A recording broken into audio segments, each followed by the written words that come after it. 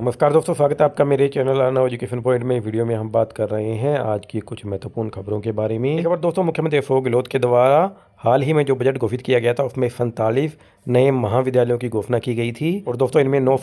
नए पदों के सर्जन को वित्तीय स्वीकृति मिल गई है इनमें दोस्तों तीन